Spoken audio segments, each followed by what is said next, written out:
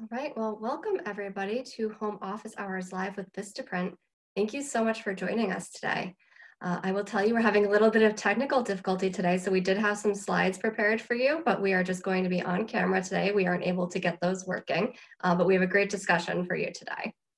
So if this is your first time joining us, Home Office Hours is a series of live discussions that we've put together on timely topics and we'll be featuring guest speakers as well as our very own Vistaprint team members. Our goal with this series is to provide you with education and advice for surviving these unprecedented times during the COVID-19 crisis. We know that small business needs have changed and we wanted to help. So we created home office hours as a way to connect during this time when we're all spending a lot of time at home. So we've tapped colleagues to help answer some of the questions that you're having as business owners. And today we have with us Priya Muthu, who is our social and content marketing specialist here at Vistaprint. Priya, can you uh, say hello? Hi, happy to be here. Hey, thank you for joining us. And we also have Jenny Will with us here today. And she's a video specialist here at Google. Jenny, can you say hello? Hi, everyone. Hey, thank you for being with us. So today we're going to talk about utilizing online video in this new business landscape. So before we get started, a couple of housekeeping items if you're in Zoom, uh, you can submit your questions using the Q&A button at the bottom of the screen there. And if you're on Facebook, you can just comment your questions there and we'll get those in the Q&A in Zoom. And we will absolutely leave plenty of time at the end for questions. Uh, so please submit your questions all throughout the session we'll take those at the end. We'll also be sending out the recording after we wrap up. Okay, so let's jump into it. Priya, let's start with you today. So you and I have worked on a number of projects together being here at Vistaprint. So why don't we establish something that we've dealt with, uh, not just with online video, but really with any kind of content, social video or otherwise, and that's the audience. So what are the two big things that we all need to consider about our audiences when we're creating video content? Absolutely. The first big thing is really determining your audience. Are they fitness enthusiasts? Are they foodies? Are they interested in DIY projects or are they parents? It's really important to know which community or group of people is going to be interested in consuming the content that you actually put out there. And then the second big piece is really understanding what your audience is going to be searching for. Are they looking to get healthier? Are they interested in learning how to cook? Do they want to know more activities to do with their kids? You really want to answer the question of what are their main goals. So it can really be helpful to research current trends you can even go to the trending section on YouTube to see what's popular in real time. So the two big pieces are really who is your audience and what do they want? Awesome, thank you. So important knowing your audience. So Jenny, can you expand on this for us? What can you tell us about the growth of online videos specifically and, and during the COVID-19 pandemic?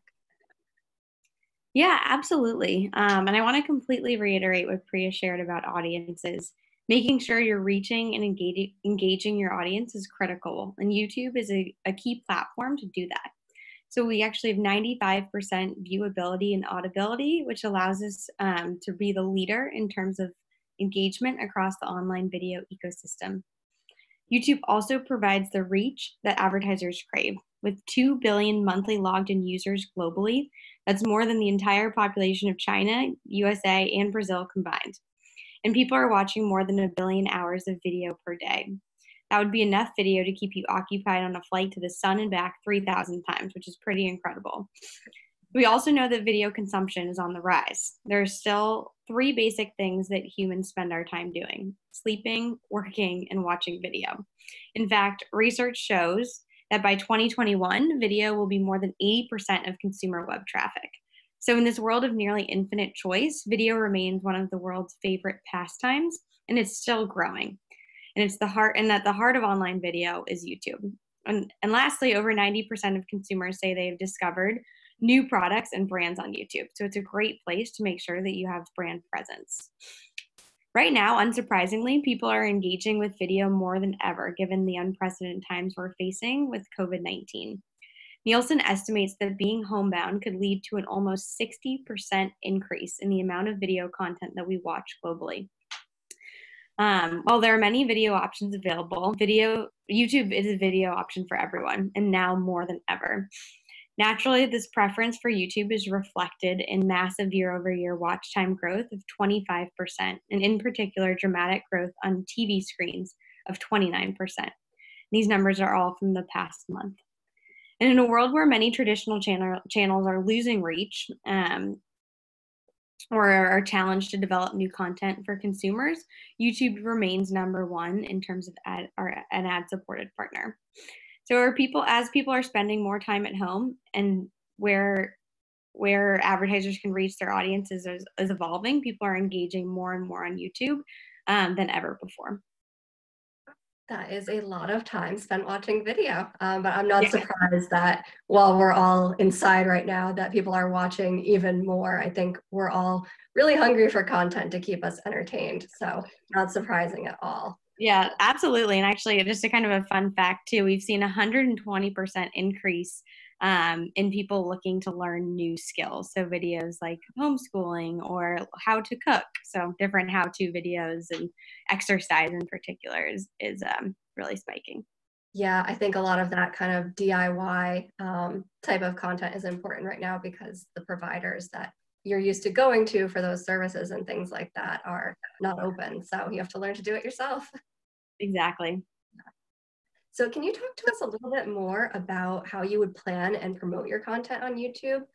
A couple of questions come to mind, like how can you customize your channel? Uh, I know there are elements like descriptions and titles, tags, keywords, and metadata. How do those different elements help demonstrate your brand's personality on your channel, but also help you get found by viewers who might be searching things like, um, you know, DIY haircuts and exercising at home and things like that? Yeah, absolutely. That's a great question. So, your YouTube channel is really an opportunity to showcase your brand to a potential customer. So, I can walk through a couple of ways how you can optimize your channel and and really a few just best practices in order to make sure that you're putting out your brand in, in a productive and meaningful way in the YouTube environment. So, first, you want to make sure that you're making your channel your your, your own. Um, so at the top of your YouTube channel, you have a banner, a channel banner, um, where you can update a visual image with um, typically um, brands will have their logo or something that relates to their brand in that space. And then you also have an opportunity to put an icon and your business name. So making sure those are up, up to date and all have a consistent look and feel is really important.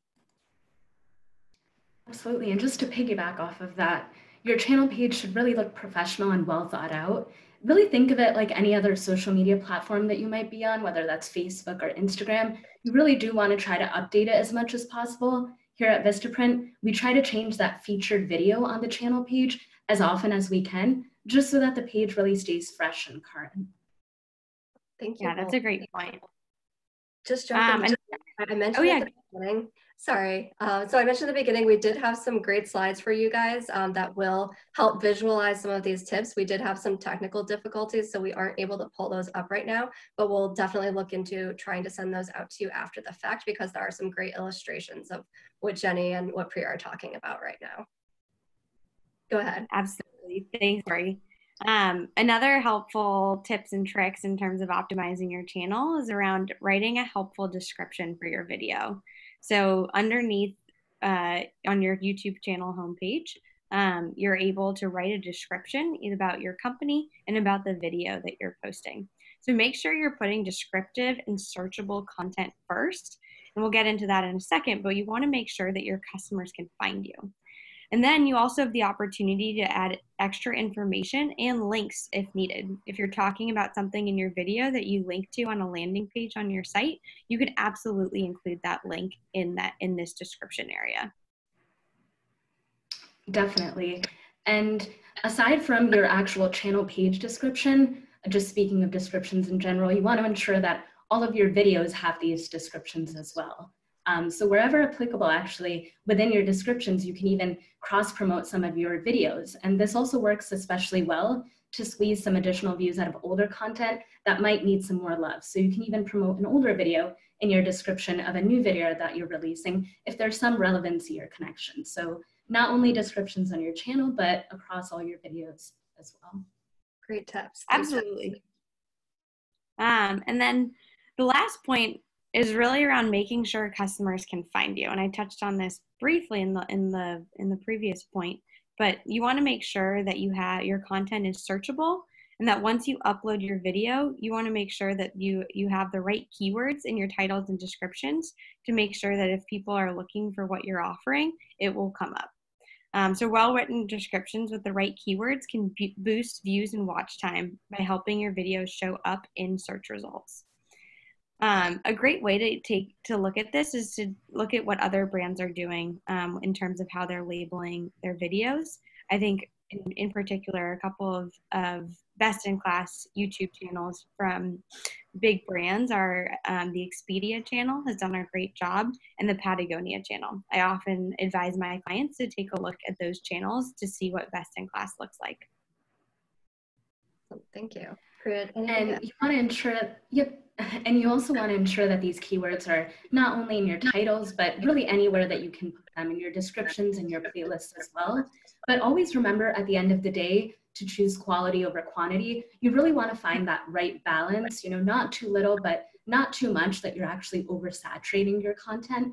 And this whole process, it might take a little bit of trial and error, but you know your content best at the end of the day. So you really will find that happy medium. Absolutely. And another just quick, quick um, tip, and based on the trends that we're seeing in the market right now, using common search terms like how to um, will help you connect with more customers. Knowing that that's top of mind and we know that those trends exist and are um, accelerating right now, if you take advantage of, of those different insights, you can help make sure that your videos are found more frequently by the right people who are looking for that type of content. That's great. Um, That's great. Yeah, I would also just add around um, searchable titles if we're getting into some of the more tactics here. And as Corey mentioned, we'll send out hopefully some examples after this. Um, but we really recommend trying to keep it to 45 characters or less so you can show up more easily in, in searches. That was to Priya's point too, right? Keeping things concise is really important. And then within the title, you also want to identify the content type, right? Is it a tutorial video? A how to? Is it a product demo? Making sure you're labeling what the video will talk about is another good way to organize your different types of content. And also, we recommend labeling with brand or series if needed. Um, so, for example, um, if you're a mattress company and you're doing a series on shipping and how the mattress is shipped, you could you could keep all of the all of the labeling within that series consistent so that a consumer can easily follow along and see the next video in the series. Great. And in addition to everything that Jenny's mentioned about those searchable titles, you also don't want to forget about your thumbnails too. Our brains are really wired to see visuals first, so you really want to make sure that your thumbnail is very eye-catching and appealing. And if you have a series, thumbnails are a really great way to visually tie it together and really enhance that perception of a common theme. So try to think of your title and thumbnail as almost a one-two punch. Yeah, I love that, Priya. Thank you. I'd also recommend using the video tags feature to help viewers find your content. So really first and foremost, the, the golden rule here is to keep it simple. So use the tags field during your video upload and include keywords from your title and a mix of both general and specific tags to thoroughly and accurately describe your video. A great way to source different keywords is using Google Trends and Google Ads Keyword Planner. So these tools can help you identify popular keywords and their synonyms. Including these search terms can help maximize traffic from search onto YouTube. Yeah, just emphasizing yeah. that uh, video tags are just because they help YouTube know your video's content and also its context as well. And once YouTube is able to understand your video's topic and category, it can then begin to associate it with similar content, which will amplify your video's reach and overall searchability. Thank you guys so much. This is so important. Nobody wants to spend all that time creating video content only to not have it get found by their audience. So I think this is super helpful. Thank you. So Priya, uh, I want to talk a little bit more about promotion and, and cross promotion specifically. You mentioned earlier that you can cross promote other videos on some of some videos that you've posted on YouTube, but your role encompasses more than just YouTube here at Vistaprint, and you work on our other social accounts as well. So can you explain how you could actually leverage those other social accounts to try and drive people to your YouTube videos? Absolutely. Uh, cross promotion is a really, really great strategy. Basically, as Corey mentioned, just leveraging those existing social platforms and then promoting your video content on these channels. For our webinar, we promote on social the day before, the day of the webinar, and after we've recorded. And this is really a great way to push your content organically without putting any extra spend. So for example, let's say that you have a video planned and you have a pretty strong following on Instagram you can post your announcements leading up to the release of the video on your stories and on your feed. And once the video has actually been released, you can then upload it to IGTV. And you can do this across Facebook, Twitter, LinkedIn, really any other social platform that you might be on. And in addition, there are plenty of tools to create these kind of posts. Uh, Vistaprint even offers our own free social media template tool, but like I mentioned, there are so many resources out there that can really help make this process easier. Awesome. Thank you, Priya. I think it's really important to have that connection too between all of your customer facing platforms really helps solidify your brand's presence. And I, I, think those accounts are also another place to make your call to action. Uh, you, you want to do that in your videos for sure, um, but you can also do it on those accounts. And it's okay to be direct with people, right? You want to make sure you're telling them what you want them to do, you know, whether that's go to your other content or to your website or to donate. Um, you should always include a call to action, right? Absolutely. Uh, it's important to be direct, but you want to be mindful as well. And don't think of yourselves as forcefully or aggressively selling something, but rather you're giving your audience some general direction. As we all know, call to actions, like you mentioned in your examples, Corey, they aren't always about selling. You can ask viewers to subscribe to your channel, watch more videos, or even share it with their friends. So really think of it as giving your audience some guidance on what to do after they've consumed your content.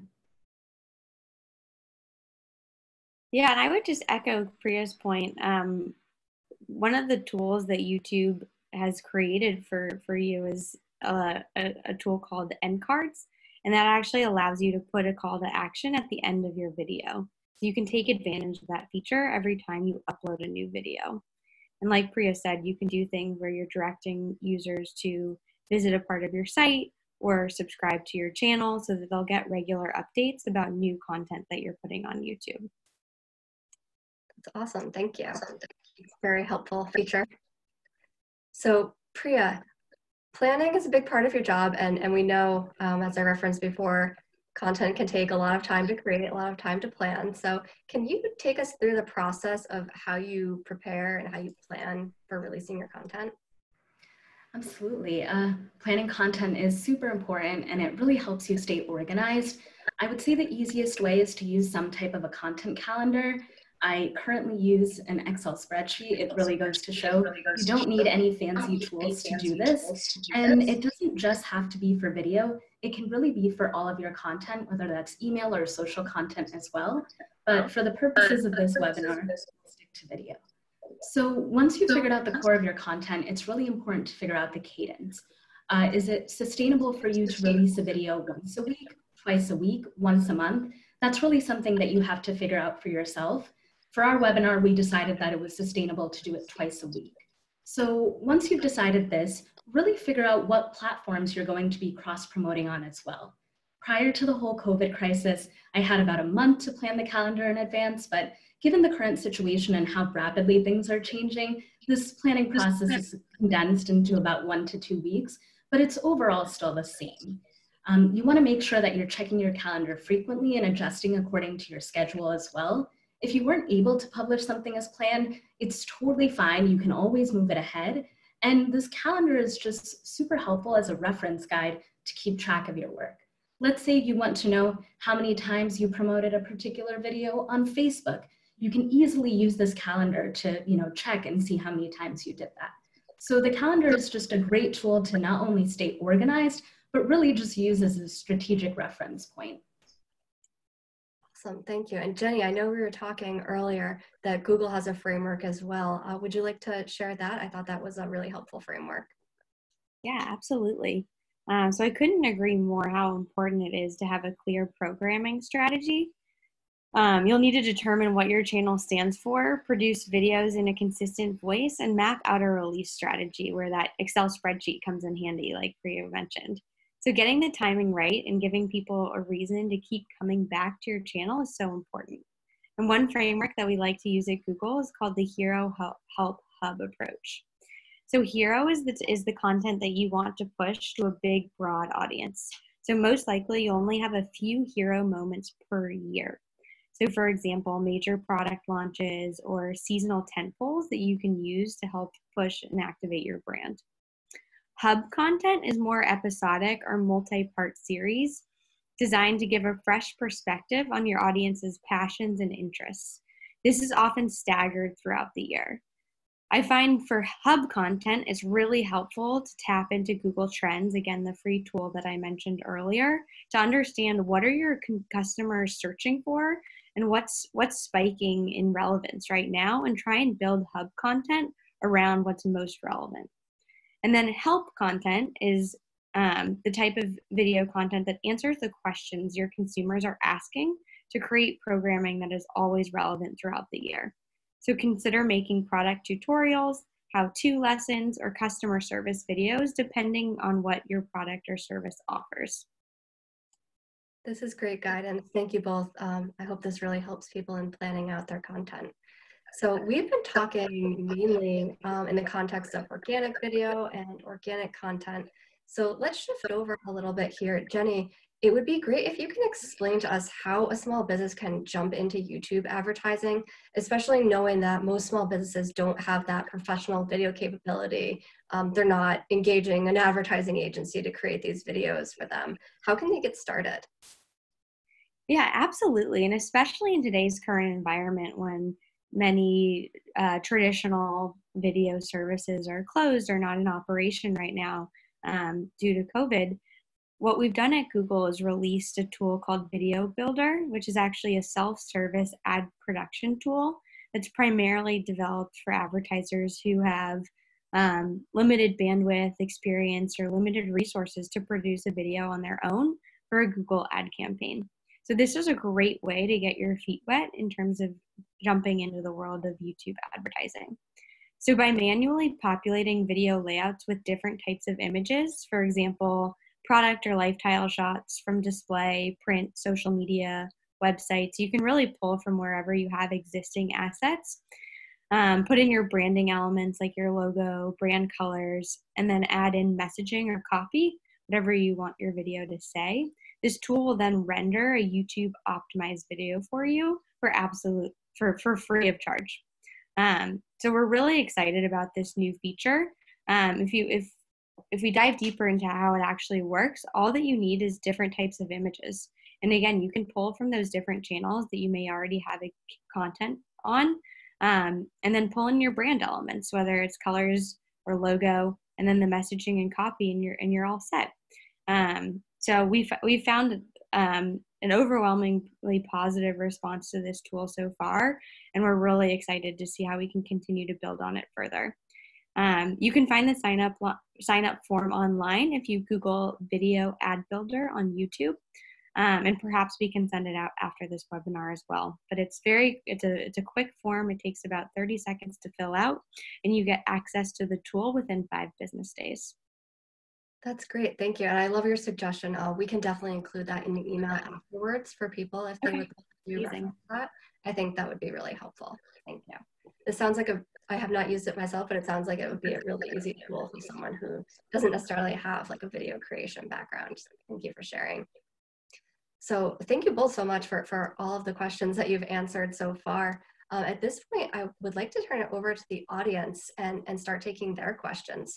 So I mentioned before at the beginning, you can use the Q&A button at the bottom of your screen if you're joining us in Zoom, and that will submit your question. And then if you're actually joining us on Facebook, you can just add your question in the comments and we'll get that in the Zoom Q&A as well. So I see we have a few questions already. So we'll start with these. Um, Priya, would be great if you can take this first one here. Can I apply what you've shared today to videos that I've created for other social platforms? Or are all these tips specific to YouTube? Absolutely. Um, a lot of these tips are relevant to really any video content across your platforms. You always want to be considering your audience and what they want. You want to make sure to include all of the video information that you can across any platforms and really focusing on those appealing thumbnails as well. So a lot of this information is really pertinent and applicable to any video content that you might be creating. Awesome, thank you. Jenny, would be awesome if you can take this next one here about subscribers. Um, do you have any tips to help increase the number of people that subscribe to my YouTube channel? Yeah, absolutely. And we get this question a lot, um, and it's, it's a good one. So I would say a couple things. One, make the first 10 seconds of your video the most memorable. Um, so 20% of viewers actually drop off within the first 10 seconds of your video. So you want to take advantage of those first few seconds. This is from an organic standpoint, and we also see that hold true um, from a paid paid advertising perspective, where we see the drop off rate after five seconds. So within paid advertising on YouTube, we use a format called TrueView, and that allows the viewer to skip the ad within after the first five seconds. As many of you have probably experienced in the YouTube environment watching videos, you have the opportunity to skip the ad. So it's so important to capture the viewer's attention up front. Um, and we carry that principle over to organic best practices as well to make sure that people are hooked in the very beginning and actually want to continue watching your video. Um, I'd also recommend using playlists. That feature on on YouTube on the YouTube channel is so powerful. So, do you have a set of videos that could go together, or a sort of type of series that you could put together? Maybe it's a re- reoccur, reoccurring weekly educational series, maybe it's webinars, kind of like what Vistaprint's doing. If you can put all those together in a playlist, it makes the content that much more powerful and relevant and will encourage users after they watch one video to stay around and watch a few more. And additionally, if it's something that's happening on a weekly or, or a reoccurring basis, if they subscribe to your channel, they'll get an, an email update anytime a new video is posted. Um, and then I'd also recommend adding um, call to actions to your videos. So we touched on this a little bit earlier, but one of the call to actions that you can add within a YouTube end end screen is to increase to add um, to to subscribe now. So that helps increase your subscriber count significantly as well. Um, and then lastly, just in, invest in your videos. Um, so there's opportunities to get involved from a paid advertising standpoint too for from a very low amount from the beginning but you can also encourage um, additional traffic and subscribers that way as well. Perfect. Thank you. So helpful. Um, let's stick with you jenny actually for this next question. Um, so we just talked about subscribers so kind of in keeping with that theme uh, we can talk about views. So our next question is i've spent so much time and effort creating videos that aren't getting many views. How can i boost them yeah, it's such a good point. And similar to the subscriber question as well, I think a lot of the the points that I just mentioned are still relevant in terms of um, the, this view question. But the the difference here is making sure that your YouTube videos are are findable, right? Making sure people are actually able to find and search for and access your YouTube videos. That will really increase your view count. Um, I think one of the best strategies here is to have a cohesive approach across all of your different media channels. So if you're creating a new video and you have a blog, for example, post about the new video upload in the blog, maybe then share the blog post on Twitter or Facebook or other social channels that you might be using. Um, really, when all of these platforms work together, that's when you have the best result. I think making sure you have a consistent look and feel across all of those different channels is also so important in terms of branding. And then lastly, I mentioned this with the subscriber count as well, but paid promotion is is a really effective way to get more video views um, as well. And you can again start out small, build up. There's you know complete flexibility in terms of how you'd want to execute that type of strategy. Great, thank you. And I think a lot of that comes back to the point from before um, about cross promotion on all those different platforms. And just to add on to that, um, you also if you really are, you know, your goal is to get more video views, make sure that your call to action is also pointing people to maybe watch your other videos so you can increase that overall view count. Yes, absolutely. And that's also just the point if around playlists too. If you have a sort of series of relevant content, it's more likely that a customer is going to watch additional videos because they're already plugged into that series or they're interested in in what it is you're talking about. Yeah, that makes complete sense. Thank you. Um, so we talked a little bit about trying to hook your viewers right away in those first few seconds. Um, but talking about the overall video, Priya, can you take this one? What is the ideal video length? Sure. So this is kind of like the million dollar question, I feel. Um, you know, it gets asked a lot, and there are lots of numbers out there, but really, you know, it depends on the actual type of content and where you're going to be sharing it. So, um, you know, let's let's take YouTube. A key consideration is really how long people are actually watching your video.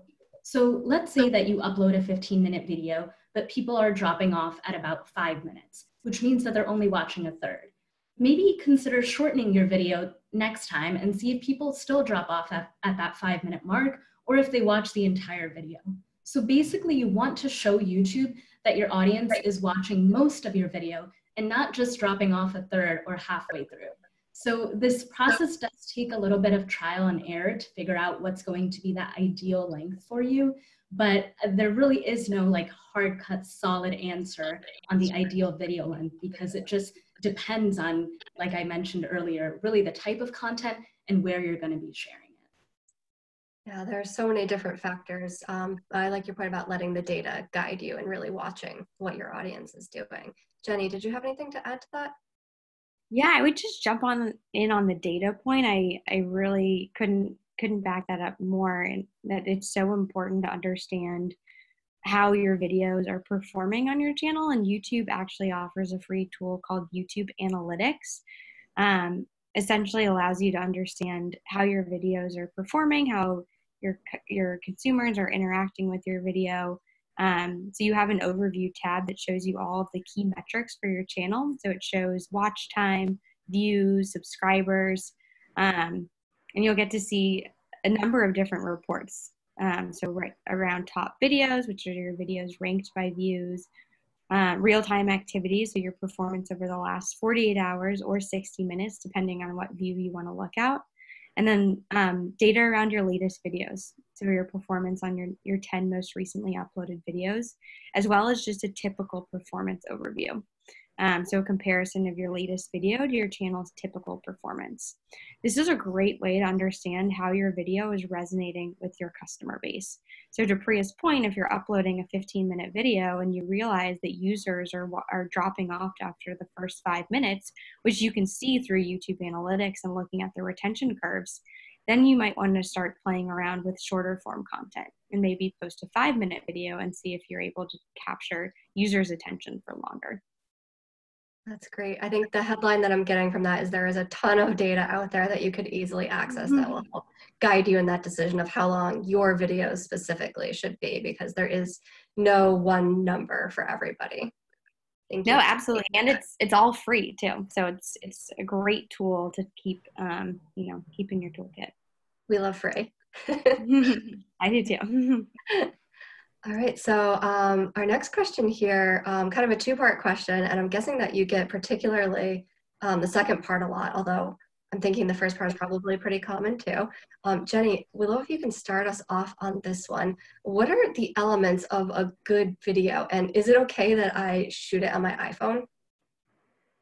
Yeah, that's a great question. So, especially in in the current environment, right? We're getting this this type of question a lot. So, what I recommend doing is check out some of your favorite YouTube creators. Go to different channels that you personally enjoy watching, whether maybe that's a cooking show or an exercise video or whatever it may be that you're watching on YouTube. Take a look at your favorite creators and understand what they're doing on their channel because they're essentially running a small business as well. So that's first and foremost in terms of getting different ideas of how to create these videos, especially during this time. Um, I think it, the most important thing is to to make sure you're capturing attention in the beginning. So again, we've talked about we've talked about this a little bit throughout throughout the program today, but making sure that you're hooking users is so important to get them to continue watching your content and understand your message. In terms of filming on your iPhone, that is that is totally fine um, and it can often feel like a really authentic and um, authentic experience for your viewer and your consumer.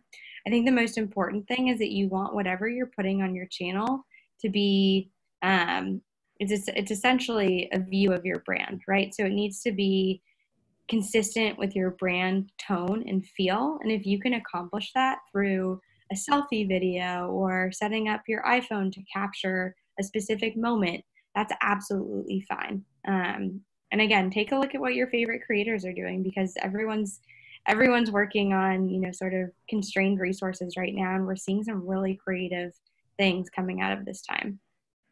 Yeah, I think that's a great point. Um, particularly now, even people who had more sophisticated equipment and resources before just might not have access to them now. So we're seeing a lot of brands, a lot of creators get really creative, and I think even more authentic and, and you're getting that kind of real honest view um, into the brand and businesses and the creators lives yeah absolutely thank you so priya i know that we have some of this content here um, for Vistaprint. So a proposed question for you. Um, I've already shared tutorial videos for my clients, and I was wondering if you had suggestions of other types of video content that can drive engagement for small businesses. Definitely. Uh, video content is sort of like a plethora. There are so many different types of, you know, video content out there. So aside from tutorials, you know, you can think about Q&A sessions, maybe a behind the scenes, um, even quick short tip videos, or even a live stream. I think really at the core of it, want to ensure that your video content is super genuine and authentic and also really consider the platform that the video is going to live on because as we all know certain types of content perform better on certain platforms. You see a lot of long form videos on youtube but maybe facebook and instagram we see you know more shorter videos. So really consider where the content is going to live and your audience on that platform but really anything that shares your story that's kind of genuine and authentic and in line with your brand voice i think will work Awesome, thank you.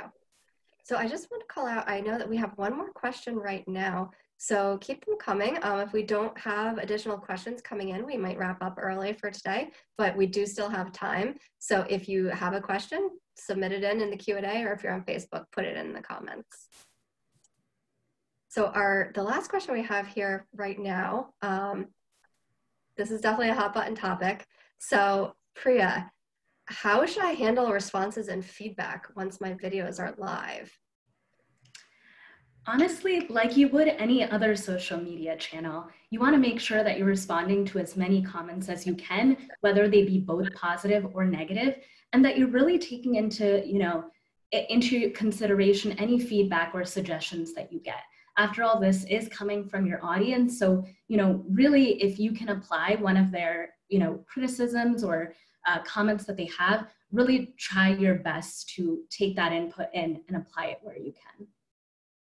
Yeah, I think taking that feedback and trying to use it constructively is really mm-hmm. important. So it can absolutely be a big opportunity. So I don't see any additional questions right now, but I'll give everybody a couple more minutes. Um, we usually end these by asking our panelists for their final thoughts so I am going to um, ask you, Brian, for your final thoughts. If you still have a question, um, go ahead and take this time to pop it into the Q&A. Otherwise, uh, we're going to wrap up for the day. So Priya, what would you say your key takeaway is from today's conversation? So I know I feel like everyone's heard this a million times now, but really emphasizing on, you know, quality versus quantity um, like Jenny and Corey, we've all discussed, you know, we want to keep it concise and simple, but really make sure that you are, you're focusing on quality and not just, you know, the, the quantity. Yeah, absolutely. I think that's definitely important. And Jenny, how about you? What would, what would you say is your key takeaway for today? Yeah, I would say just get started. So there's so many helpful resources available online to guide you through this process. And you'll learn so much just by actually getting your channel set up and posting different videos. Understanding how your audience reacts um, is is really the best way to, to move forward in my in my opinion. And the best part about digital videos, you get that feedback loop and data in real time, so you can constantly adjust and edit based on what's resonating with your customer base. Awesome. Thank you both. And we did have one more question come in. Um, so this Great. one is about views and analytics. Um, Jenny, would be awesome. Um, uh, Priya, you may have something to weigh in on here. You're just reading the question now. It covers a little bit of YouTube and Facebook. So when sharing YouTube videos on Facebook, are the views still counted on YouTube analytics? Jenny, do you know that? I'm just looking at the question right here. Um, yes, so it depends on where you're looking in YouTube Analytics, and maybe we can share a screenshot of exactly where you would find that. Um, but they, you are able to see different, uh, different metrics by um, where they're coming through based on different social channels. Thank you. And Priya, have you have you executed on this um, for us at Vistaprint? Do you have any knowledge um, on your side if you've been able to see this? Yeah, uh, just to Jenny's point, being able to see the various traffic sources um, is pretty helpful within the actual analytics tool. So, you know, I am able to see when we, let's say, post our webinar on Facebook, how many um, uh, on the YouTube analytics tool, how many are actually coming from our uh, Facebook post versus the video that we actually published on YouTube. So it's it's just a really helpful way to keep track of that data and see maybe if you know more people are watching your video on Facebook versus when you actually just upload it on YouTube. So it can really help make some good data driven decisions. Perfect. Thank you. All right, well, I don't see any other questions coming in, so we are going to wrap it up for today. Thank you both so much for taking the time to be with us today. Uh, and to our audience, we're going to be hosting these every Tuesday and Thursday. Uh, we're covering various relevant topics. And to Priya's point about feedback before, we absolutely want all of your feedback on what topics we should cover, what you're finding most valuable about this, what you want to see more of, what you want to see less of. So we have included a link at the end of the webinar and we also send it out in the follow-up email. Please take just a couple of minutes, fill that out, let us know what you want to hear and how we can make this better for you. You can also send any questions that you might have or topic suggestions to home office hours at vistaprint.com. And you can also follow us on Facebook, Twitter, LinkedIn, Instagram. We post there, as Priya mentioned, about upcoming webinars, and you can absolutely comment on those posts as well and give us feedback on topics that you'd like to see. So you can find more information in the meantime as well on a lot of these topics uh, if you head to vistaprint.com and check out the Support Small Business Hub. So uh, we'll wrap it up now for today. Priya, thank you very much for joining us. And Jenny, thank you as mm-hmm. well for being with us today. Uh, this has been Home Office Hours Live with Vistaprint. Thank everybody for your curiosity and your time.